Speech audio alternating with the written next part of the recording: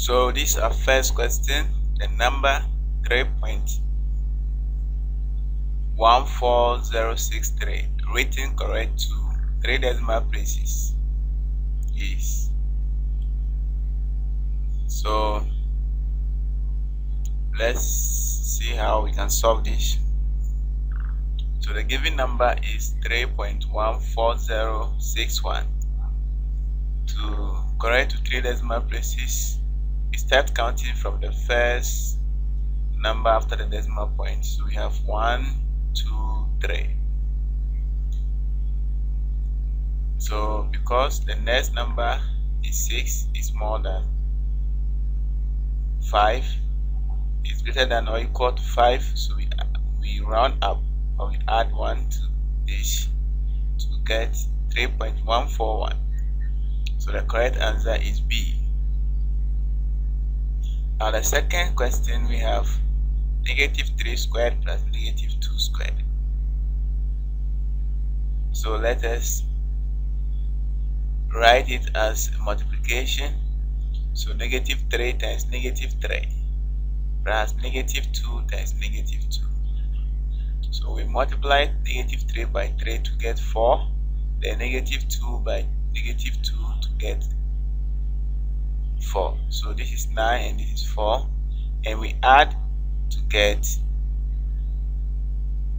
13 therefore the correct answer is C.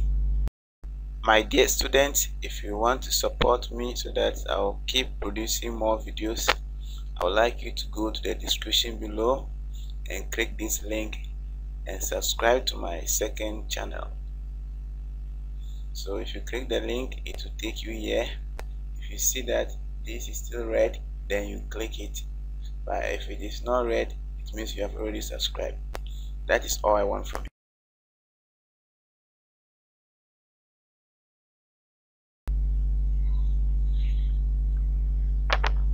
Inside in scientific notation we want to rewrite this number in scientific notation so the given number the given number is 170.04 117.04 to write a number in scientific notation means we are writing a number number in the form k times 10 exponent n where n is an integer where k is greater than or equal to 1 but less than 10 now we have to move the decimal point backwards because if you move it forward it will not fall within this range. So we move it if you move it once we get 17 point something which is not within this range. Then we have to move back again to get 1.7004 which is within this interval then the number of time we move back be here which is the n. So we move back one two times. Moving backwards is positive so we had exponent 2 therefore the correct answer is b. Now this is our next question. We want to multiply 0.386 by 0.06 so we first of all change this into fraction form. So 3 0.386 is equal to 386 over 1000 so 386 over 1000 we have 1 2 3 decimal places. Then this is 1 2 decimal places. So it will be 6 over 100 or 0, 06 over 100 now let us multiply the top to get 6 by 386 will give us 2316 now the fifth question is this. We are told that what number when added to one whole number 1 over 3 will give 2 so let that number be x then we add it to one whole number 1 over 3 to get 2 so this is a linear equation and we need to convert this to an improper fraction.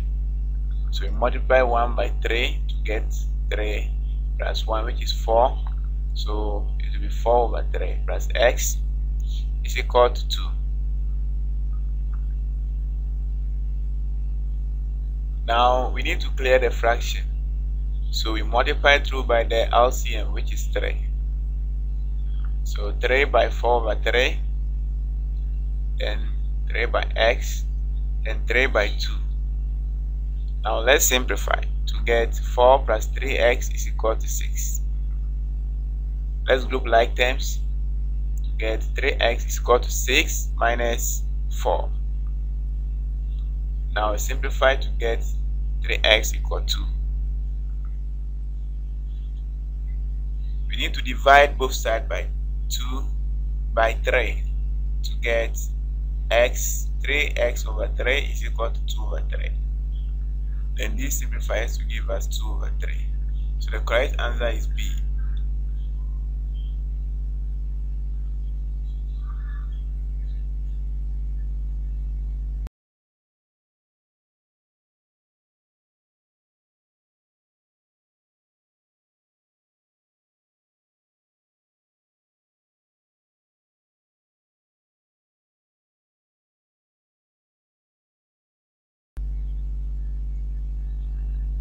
want to find the exact value of 37.26 divided by 1.8 all over 1000 so this is what we want to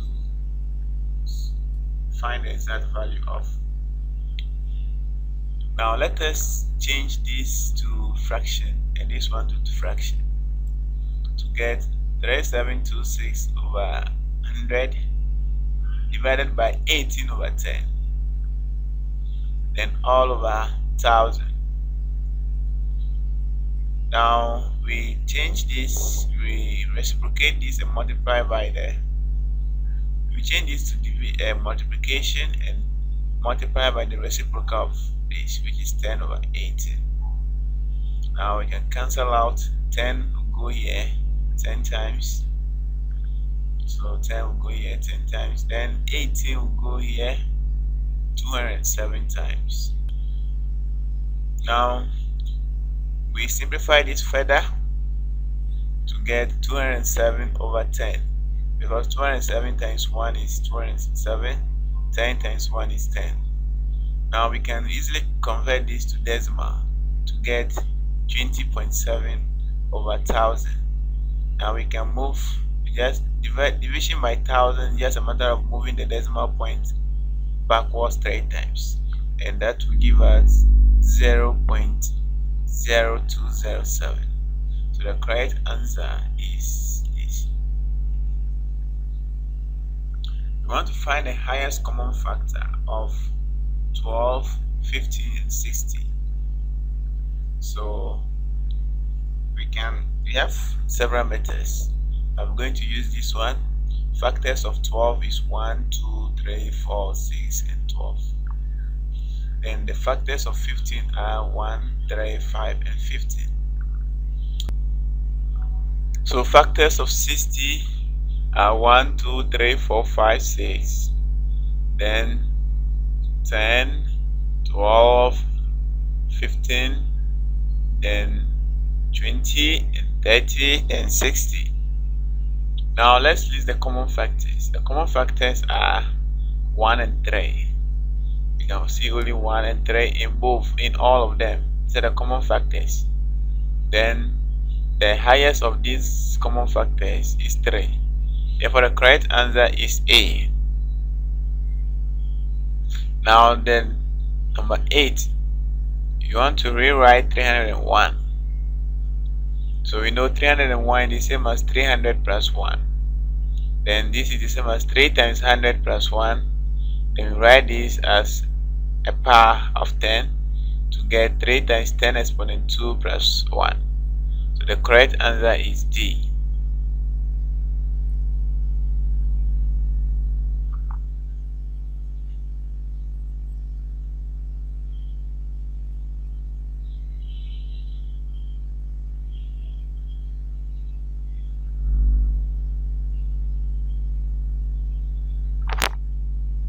3n is an odd number which of the following is an even number? So let's see. We are given that 3n is an odd number so let's pick some few odd numbers. So we have 1 3 5 7 now let's subtract 1 from them. To see to get 3n minus 1 equal this 1 minus 1 then 3 minus 1 5 minus 1 7 minus 1 then this will give us 0 2 4 6 these are all even numbers. Now let's try for this and see. 3n minus 2 will give us negative 1 1 3 5 these are not even numbers. Then 3n plus 2 will give us this. 1 plus 2 3 plus 2 5 plus 7 5 plus 2 7 plus 2 and this will result in 3 5 7 9 these are not even numbers. Then 3n is an odd number and 2n is an even number. So odd plus even odd plus even odd plus even odd plus even. And this will give us 3 7 11 15 all these are odd numbers. So the correct answer is a. Now we have this 25 times 130 is the same as so we can use a distributive property. We have 25 times 130 let's expand 130 that will be 25 times 100 plus 30 now let's distribute 25 to get 25 times 100 plus 25 times 30 now let's rewrite this as 25 times 30 plus 25 times 100 or 100 times 25 so the correct answer is this option D. If you want to join our online class click the link in the description below where you can get access to all the solutions to this paper and other papers. Now if you can still see this writing here it means you have not yet subscribed. So you just have to click it so that the next upload see it is still red you have to click it so that if i upload the next video you'll be informed. Click the bell icon too so that you get a notification whenever i upload a new video. Thanks for watching. Don't forget to subscribe